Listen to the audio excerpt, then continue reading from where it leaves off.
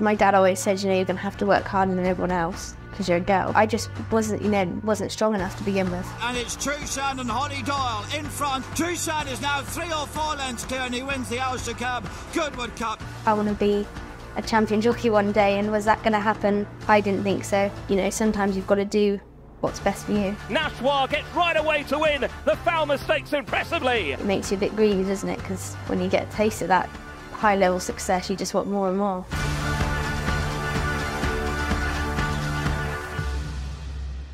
Hollie, thanks for coming on. Great to have you here. I know you've got a real busy schedule and it's hard to, to fit you in, but we've got you here, which is the main thing. I'm going to start, as I do with everyone, with like a brief overview of your career, which is over 850 winners, multiple Group Ones. We don't know exactly how many, but quite a few. And you've broken every record there is for a, a female jockey to break, essentially along the way, which is pretty incredible. But can you take us back in time into how you got into racing and what was that route into racing for you? Um, I, I grew up in Herefordshire and um, I've always been brought up around horses really. My grandparents had Arabian horses and um, my dad's from Tipperary in Ireland and um, he, he was um, a jockey himself and um, my mum rode a bit as an, an amateur and um, so I've always kind of been brought up around horses. Um, I, you know, I had a, a great upbringing around them, and um, I don't know any different other than race. And I'm, you know, for as long as I can remember, I can, you know, remember going point to point with my dad and racing and lorry and missing school because I wanted to go in the lorry with him to the races and um, things like that. So I don't know much, much different really. And you ended up at David Evans, which was sort of probably your local trainer as such, didn't you? Yeah, I um started out at Dave Evans's, which is in um, Abergavenny, so it would be about an hour from where I'm actually from, uh, in Herefordshire. And um, my dad had a association with him because he used to break in a lot of his yearlings and um, do a lot of transport and work there. So um, he was, you know, one of the biggest flat trainers local to us. So it was kind of the obvious place to go for me. Yeah, and I imagine that was like a, a good ground and then a lot of hard work involved. Yeah, it was a good grounding to say the least. Really, um, Dave was great to me. I was so young and naive when I went there. I mean, the day I left school, I packed my bags and I was gone. Um, but I was riding out there whilst I was at school and had my first ride as an amateur for Dave whilst I was still at school. And um, yeah, it was uh, yeah the start of something that's for sure. Yeah, and you ended up at, at Richard Hannon's, but you didn't have like a an overnight success as it were as an apprentice. It took you like a couple of years to to really bang the winners in and find your feet and, and get to that stage where you were like a regular sort of race winner, didn't it? Yeah, I mean, I was a bit of a slow burner, really. I, you know, my first ride was a winner. So when you, you know, you start off like that, you think, oh, things are going to be, you know, not easy, but uh, it was a great start. And um, things weren't easy in the end. And, um, you know, nothing really came, you know, I, I was well able to ride. I just, the race, the, the race riding was there, but the, um, you know, things just took a while for, you know, things to kind of, the pennies to drop really. Mm. And why, why did it take so long for that penny to drop? Was it, like, was it a physical thing? Was it a mental thing? Or what, what was it that took you so long to, to get the hang of? Um, I don't know really. Like, I was small, very small, very weak. i I remember having my first ride and I was like five stone or something. And um, I, because I, I, started off as an amateur because I wanted to ride whilst I was still at school. Because obviously, being an apprentice, you have to have left school and um, to hold an apprentice license. So I wanted to kind of get going as soon as I turned 16. And I remember my first ride, I had about 10.5 or something, and I was like 5'7. Um, so I was very small, very weak, and you know, I think, you, you know, I, I just wasn't, you know, wasn't strong enough to begin with. Yeah. Was there also an element of, as you've gone through that apprenticeship, being a, a girl in sort of a male dominated sport, did you ever feel like this is harder for me because I'm a girl, or was it always your own sort of personal stuff that you had to work on? Um, I knew that it would be, you know, my dad always said, you know, you're going to have to work harder than everyone else because you're a girl, but it never really played on my mind, or it was never, you know, I never ever thought I'm not doing well because I'm a girl or anything like that. I'm not getting the chances because I'm a girl. I wasn't getting the chances because I wasn't good enough, and I think that's um, just the way it was. When you say you weren't good enough, were you actually not good enough, or did you just feel like I'm not good enough? I just felt like I wasn't good enough for you know quite a long period of time before you know things started to turn the corner, and then it kind of spiraled quite quickly. Um, yeah, for quite a while, I was just a bit like, well, I'm just not good enough. And when I made the move to Richard Hannons, I thought, wow, this is make or break, really. Um, you know, if I don't do well here, then probably not going to make it as a jockey. So thankfully, things went the right way. But that, that feeling of I'm not good enough, where does that where does that come from for you? I don't know, really. I suppose growing up doing the pony racing and probably not being very good, um, you know, in comparison to the other, other other kids riding, didn't ride many winners. Um, but I never ever like, I didn't get the results, but I never felt demoralised, never felt upset or anything like that after I'd ridden a race and finished last or, you know, whatever. It never used to bother me. So I think that was quite a good way of getting grounded, really. Mm, okay. And then you eventually did get going and you hit the ground and start riding a few winners. What did that feel like for you? When was the, the moment where you thought, this is sort of happening now? Um, I knew I, you know, I said I always felt like I wasn't good enough to begin with, but I always knew that I could do it. Oh, there was always something in the back of my mind where I, was, I knew I, you know, if I had It was the chance, I could do it. Yeah. Yeah. I knew I could do it. It was just so frustrating because I just couldn't put it all together. And then one day, I used to ride a, little, a horse called Agueri for Richard Hannon. Yeah. And um, one day I went from looking like, like, you know, not very good to the penny just dropped one day and I looked all right and I thought, ah, here we go. Mm, yeah. Um, and things, you know, escalated from there and yeah. Did that feeling, like that penny just clicking, did that give you the belief to think, I can go on now and I can really kick on with this career and, and be something? Yeah, definitely. I knew I had like the drive, the hunger, and all the dedication. I just wasn't. I didn't have the talent at the time, and um, everyone.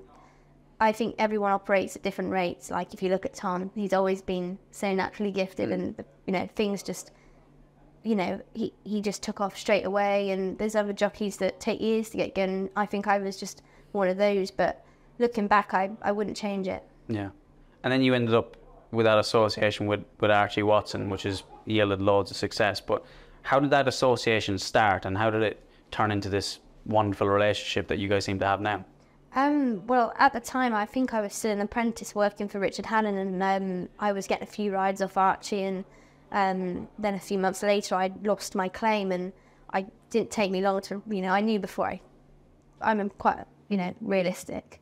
I knew before I lost my claim, I was like, it's going to be hard. It's, it's hard for everyone. And I was um, a very small fish in a big pond there. Obviously, you had Sean Levey, Pat Dobbs, Tom at the time.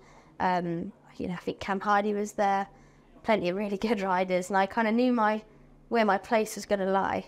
Um, I was a lightweight jockey, and did I want to just be a, a lightweight jockey? Um, not really. And um, Archie was kind of up for giving me opportunity, so I had to make the decision because with Richard Han, you're either in or you're out. There's no, I, you know, you, you, you you'll see it. You're either in or you're out. And there's no kind of in between. And I kind of had to make that decision at the time, and um, kind of made the move over to Archie's, and things have escalated from there. That's a pretty big decision to make at that point in your career where you're, like you said, it's difficult transition going from apprentice to professional, but then to take that step out of an established stable like Richard Hannon to go to someone, and Archie wasn't really the force he is now back then, although he was an up and coming trainer. So it must have been like, must have taken some thinking about, surely. Yeah, it wasn't a, a very easy decision because I loved loved at Richard Hannon's. You know, I, I wanted to be there. I wanted to be part of the team and have a place there. But realistically, I want to be a champion jockey one day. And was that going to happen? I didn't think so. Um, so I, you know, sometimes you've got to do what's best for you. Yeah. And it's worked out because I think you and Archie have almost sort of grown together as a force since you since you joined them, and it's ended up with multiple Group One successes. Let's start with the first Group One, Glenshiel Champions Day. How was that that feeling for you after everything you'd sort of been through and the the difficult sort of transition periods and the slow burning apprenticeship? You get the Champions Day in Glenshiel, and it was a photo finish, wasn't it? Because I remember it, and you you pulled it out of the bag in the photo finish. What's that feeling like immediately? That emotion when you realise I've won this.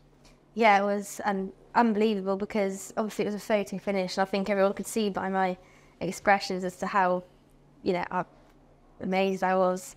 Um, you know, and you know, all credit to Archie. No one else would have won a Group One with Glenshiel. Mm. You know, and it just goes to show, you know, what he's capable of, and you know, given the chances, you know, we're quite a good team. Yeah. Because I remember I got beat on Glenshiel over, it was a mile and a quarter? Mile or and a Rodham in in France, or France, something. And he, he'd won over a mile and a quarter and he just kept, Ash just kept figuring out, yeah, let's step him back and step him back. And he, like you said, I don't think anyone else would have won with him either. But what I'm interested in is more the emotion when that pitch was called out. Obviously, it's, it's a bit of a surprise and there's a lot of emotions going on. What was the main emotion for you? What did you feel immediately? Just, I don't know. I just never thought that I'd be in a position to ride a Group One winner ever, really. Was there relief? Um, yeah, relief. But I was aware that, like, you know, it was early days in my. It, you know, it was what nearly three years now. So it, it felt like it was still early days in my career. Like I don't expect anything to come quickly or easily, and then I was just so shocked and amazed. I, you know, then it makes you a bit greedy, doesn't it? Because when you get a taste of that high level success, you just want more and more. Yeah. And luckily that relationship with Archie Archie's continued and you've you've found a couple of more Group 1 winners along the way. What I'm interested in as well is, because obviously I work for Archie and I was kind of like your number two for a little period of time, could never get past you.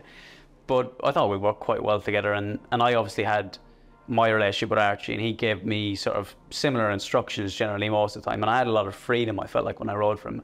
Do you have a lot of freedom? Does he tie you down with instructions or how does that relationship sort of work? Uh, no, he, I have a lot of freedom. Um, it's very easy to ride for, and I think that's what works really. we ride out there quite a lot and know the horses inside out, and he trusts you to know um, their characteristics and what suits them. And um, I, I find him very straightforward, never any pressure. You know, if something's not going right that he won't like, you know, you know, I know, I know what he, he, he likes and what he doesn't like. So I think once you've figured that out, it's um, it's you're, you're halfway there, aren't you? Has he ever told one told you that you've given one a bad ride? Has he ever complained? Um, Have you had a little fallout at any stage? No, no fallouts. Um, I'd, I'd tell him if I'd given one a bad ride or I should have done this, should have done that. Um, but, you know, at this point in your career, you should be realising those things. Yeah. So I feel like when I rode from, I obviously gave a couple of them bad rides because you can't give everything a good ride. There's a couple I gave bad rides and I rang him up and I was like, Arch, I've given that fucking terrible ride. Really sorry. And he was always like, no, don't worry about it. It happens. And he, he never, like said, put that pressure on you and sort of gave you that freedom to forget about it and move on to the next one. Yeah, he's pretty good like that. Like, if things haven't gone right, he's usually very understanding and, um, you know, you want to ride the horse to give it the, you know, the best chance of winning, the least excuses of not, not winning. So, um, you know, if things haven't fallen right, he's pretty good at um, understanding why. Yeah. And a- another big association you have is with Imad Al Sagar, and that obviously led you to Nashwa. And it's another massive achievement was to win your first classic in the Prix de Diane. What was that feeling like? Was that different to the Group 1 win on Glenshiel? What, what was the emotion like when you crossed the line on, on Nashwa? Yeah, that was one of the biggest thrills I've ever had, really, to win a classic. Um, and that's, I mean, for Imad especially, who's, you know, when I got that job, it kind of opened a few more doors. You know, I was riding for John Gosden, Roger Charlton, people like that who probably definitely wouldn't have used me very much before I had that job. And when I got to ride these horses for Imad, it kind of let me prove myself to them because I have never found it a problem being a female at all, but um, I've always found like I personally ha- I want to try harder to prove to them that mm. I'm worthy of riding that horse. Yeah. So let me do that. So you, you feel like you're in your own head, you're constantly having to prove yourself. Do you still have that now? Oh yeah, I still have still have that now, and I think that's you know that's quite healthy to have, and it's what drives me. Do you think it's healthy? Well, I think it's good. It's keep you know I've I've got that hunger and drive behind me still. Yeah. So. And then let's talk a little bit about outside of racing and what you do outside of racing. What are your hobbies on a day off? What's what's Hollie Doyle getting up to? Um, wow, the last few years I've not had many days off. When I do, I try and use them to kind of sound stupid, but like recover.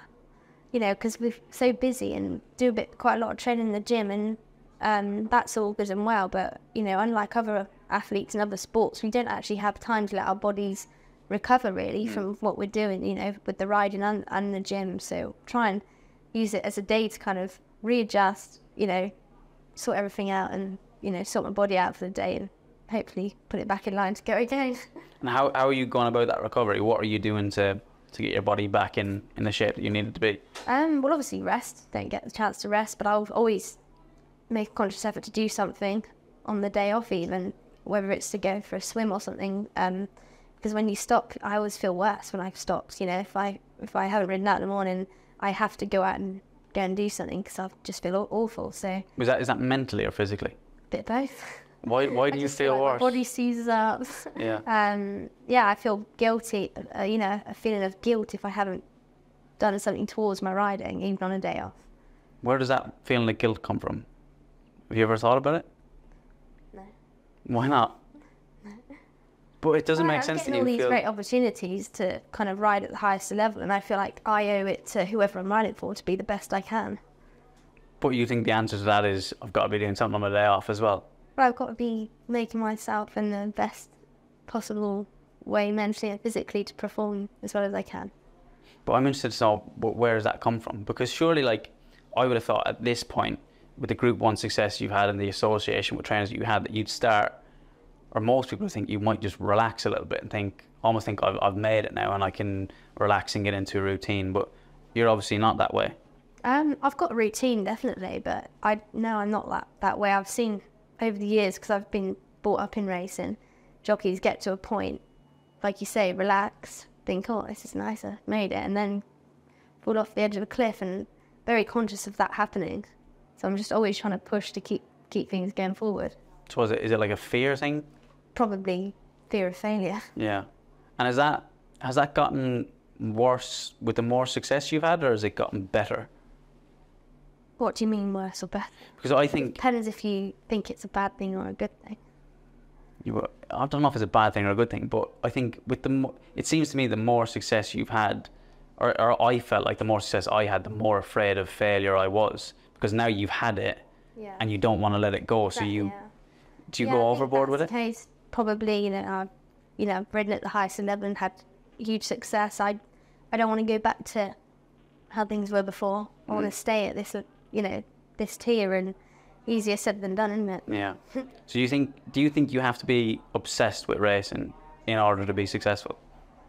Um, I am obsessed with racing, and I don't know, you know, you don't know everyone inside out, but I think you have to have a bit of obsession to operate at the highest of levels. Where do you think that comes from? Was that like drilled into you when you were younger, or is that something you've just thought through yourself as your own thought process? Um, I'm not sure really. Just sitting back and watching other jockeys and their do's and don'ts and things like that probably Yeah. has helped. And how, because I think there's a, obviously I know you and Tom really well, and I think there's a big contrast between you guys in that you are both obsessed, obviously, and you have to be to a degree because you're both at the real pinnacle of a, a really tricky, difficult sport. But Tom seems to, on his days off, wants to go and drive a go kart, swim in a lake. He wants to do something completely outside of racing. Does he have to like drag you out of the house to get you to do that stuff? Yeah. I like my routine. I like to go and ride out, go to the gym and then do my, sort myself out, sort things out that need doing. Tom likes to do the opposite. Yeah. It's just fun and, and I like doing other things too, but I'm really um, anal with routine and I hate breaking it. It really stresses me out. It's a little bit like, have you seen the Tyson Fury documentary? Yeah. He's a bit like that as well. Maybe it's like a common theme with some sports people that you have to have that. Yeah, I think those types of things normal people do. Maybe I'm not normal, but they that's a um it switches them off, getting off and doing stuff like that. I even on holidays or going out for the day, I can't switch off. Really. So if you're if you're on holiday laying on a beach, are you thinking about Nashwa, Bradsell? You you still thinking about racing? Yes. Not thinking about your pina colada? To Tom's disgust. yeah, I can imagine. Um, so let's talk a little bit about Tom. So I always thought that potentially that maybe you guys might get a little bit sick of the sort of race and media constantly being on the whole Tom and Hollie type thing. And there's this narrative I think that sometimes people say, oh, it's, it's incredible that these two sports people are managing to keep a marriage going because it's like you're so busy and whatever. But I think anybody who knows you and Tom sort of closely realize that actually it's not not saying that it's not difficult, but it, of course it makes sense because you guys are just a couple in love. Yeah, it's strange, really, isn't it? I suppose from the outside looking in, but it's something that I, in particular, have got used to now. Whereas before, Tom was very chilled about everything like that, and I was a bit uptight and not. It doesn't come natural to me. I feel it doesn't come natural. Maybe it doesn't look that bad, but I feel media doesn't come natural to me, but it does to Tom, and probably took me quite a long time to get used to it. Um, like, but from my point of view now, I just be myself, and it's not that hard if you're not having to not be yourself, really. Yeah. But then, do you feel like sometimes you'd rather have? So it's not like you're on the cover of OK magazine, but there is still like a lot of media sort of frenzy around you and Tom. Would you rather there was a little bit less of that and you could have a bit more of a private life, or does it does it not really bother you that much? Um, it doesn't bother me anymore, really. I suppose it did. It used to bother me a little bit, but I think now the media have got to know Tom and I personally a little bit more. They're a lot more respectful, and um, I, I, don't mind it anymore. Yeah, well, that's good because I, I, I'd find it difficult if me and my girlfriend had to like deal with ITV coming over with a camera and ask us about our relationship. I'm not sure I'd be able to hack it, to be honest. I think I think they'll get bored of asking the same questions because they're only going to get the same answers. So yeah. probably wear off. Yeah, you guys don't really sort of change much. So you've been together since you were like what 13, 14, so. Yeah, I've known Tom since I was 14. Yeah, so it's, it's, probably not going to change a whole lot now, is it? No, exactly. Yeah. Okay, good. Um, so there must be something if you could if you could switch off from racing and you could get away from it, what do you think you would be doing if you were going to have a, a hobby outside of racing? What are you interested in? Ah, uh, obviously racing still, but I'm interested in the pedigree side of things and the breeding and also, you know, dealing with yearlings. I'm interested very much in that. Also, much to Tom's discussed. Yeah. So it'd still be like be horses. horses, yeah, yeah, definitely. So that that's just because your does your mum have some what, what kind of breed are they? Yeah, my mum breeds Arabs. Yeah, yeah. Yeah. So you'd probably be doing something like that, I'd imagine, if you. Not with Arabs. Maybe not Arabs. No, yeah. Arab Yeah. Okay. Um, let's go back a little bit to horsemanship because obviously we're not going to get away from the subject. One thing I want to know is, and I've asked a couple of jockeys like similar questions, but when you're riding a horse, for people who are listening to this and have never sat on a horse, or more specifically a racehorse, and they don't know what that feeling's like. You're on a half ton animal full of energy and they're a lot stronger than you are. What are you doing with your hands or how are you getting them to relax? Can you explain that like in the, the simplest terms to people who wouldn't understand it? Yeah, it's hard to explain really. Um, horses are very sensitive animals and you know they can feel what you're feeling so obviously I'm lucky because I've ridden horses all my life, but um, I suppose people that haven't and have to learn how to ride, it's not easy. Um, but horses are incredibly sensitive, and um, I feel like you know your hands in particular are the tools really to get them to relax. You know, um, you know. I remember when I was a kid, and um, I went. I used to ride ride out with my dad, and when I was really young, he used to clip the lead rope onto my pony and drag me up the road. And I was attached to this one pony, and um, I went from a kick along lead rein pony to a little mini thoroughbred racing pony, and he le- let me go one day, and it ran off from me. And I stood up, bolt upright, my hands up here, and he was just screaming, "Hands down, hands down!" And I was like, I remember I pulled out, and I started crying. I was like, "I can't ride, I'm no good, I can't do it." And um, I learned the hard way. And my dad, you know, he's a very good good rider. He has hands like shovels, a yeah. bit like you know, he's like um the same kind of era as like you know he rides like a bit like Davy Russell, hands down, mm. like shovels. And yeah. So I kind of used to watch watch him ride, and um, I think that's really important to have good hands. Yeah. But it's something that a lot it comes very natural to a lot of people, and obviously it doesn't. Yeah. Some people like me and you probably have to work pretty hard on it. yeah. Um, who would you like as you're going through your apprenticeship or before you're even a jockey? Who are you modelling yourself on? Are you trying to look like another jockey, or are you just trying to figure out your own unique style, or how, how did that work for you? Um, when I was very young, I used to really idolise like Cathy Gannon, Kieren Fallon, and Ryan Moore, and I used to really want to like growing up, you like I want to ride like them, I want to use my stick like that, or do this, and I got to a point where I, I wasn't going to be able to do that, so I just accepted it and found my own style and adapted it, and that's when things started to kind of snowball for me. Um, I think it's very hard to try and replicate someone because um, you'll notice like everyone's built differently. It's so um, you know even you know the proportions of your legs, your body, your arms. It's it all it's all um, influential on your style and how you use your stick in certain ways. It's you know it's it's not one dimensional. That's for sure. Yeah. Let's talk a little bit about sacrifices because I'm, I'm going to be speaking to pretty much all the jockeys about this. I felt like during my career there was a lot of stuff I missed out on because I was so dedicated to racing and the fixture list was so crazy and I was making weight or whatever it might have been. So I missed birthdays, weddings, meals with family, whatever it might have been. How much of that have you missed? Have you do you feel like you've had to make a lot of sacrifices to, to be in the position that you're in?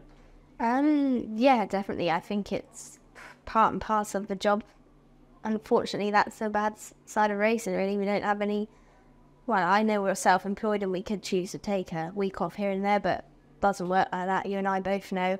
I've missed weddings, funerals, you name it, over the years. And at the time, when I was younger, I never wouldn't blink, didn't think anything of it.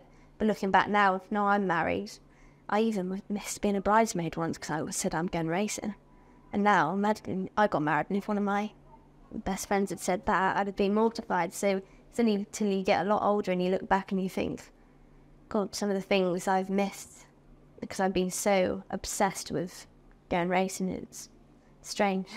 So do you regret those now? Do you, do you look back and think, I, I wish I'd been different and I'd, I'd gone to that wedding as a bridesmaid and and maybe not missed the family meals or, or even funerals, which is a really difficult one. Yeah, definitely. I mean, you know, now I'm older, and you know, a lot of your older families down or starting to get old. You um, do realise how much you have to kind of cherish those days with the family and things like that. How much is that like weigh on you now when you think about stuff? Do you feel like, guilty about that sort of stuff? Does it still pop in your head every now and again, or is it? Are you able to sort of get over it now and move on? Um, I think, yeah, I do feel a bit guilty, but like my family working have worked in racing. Like my mum was a travelling head girl, and my dad's worked in racing all his life, and they'd almost be a bit similar. So I think they're very understanding, and um, yeah, my family are very understanding, but it is strange, isn't it? Yeah. Do you think you make a conscious effort in future to to not miss stuff like that? Would you Would you be confident enough now to say, I'm not going to go to Wolverhampton because I've got best friend's wedding? Would you be able to do that now? Do you think? I think so now. Yeah, Yeah. honestly, I've just yeah, a few years ago probably not, but uh, now yeah, now I've had a few realizations over the last few years. Life's too short. Yeah. How do you How do you come to those realizations? Is it just an age thing, getting older, or are you thinking about things as someone said something to you? What creates those realizations? yeah, I suppose you get older and you mature, and like like when I got married, it made me when all my family came to my wedding. That's the first time in my life that my family have all been in the same place, and I've been there with them. So I don't know when that's next going to happen, really. Yeah. and until my brother gets married or something. So that's quite sad to think. You know, I've got a lot of family in Ireland that I haven't seen for two years since I last since I got married. So um, yeah, I suppose it's it's a hard one, but something that I'm probably going to try and make more of a conscious effort towards. And that that wedding, because I was at the wedding, I was lucky enough to be mm-hmm. there.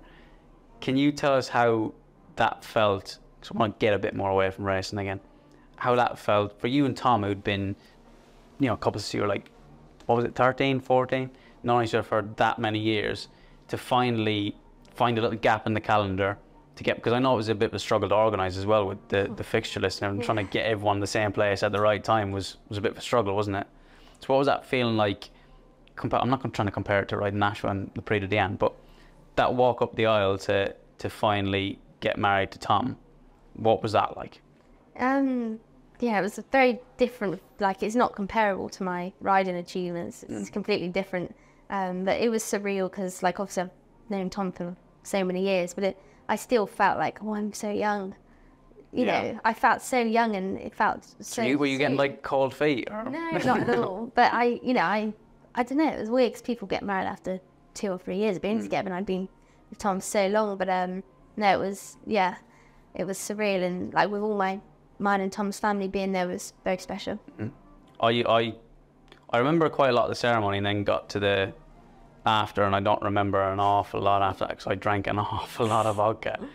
But I think it was probably one of the best nights I've ever had because it was like I said, all your your family were over and quite a lot of racing people there as well. But it was just a brilliant night, wasn't it?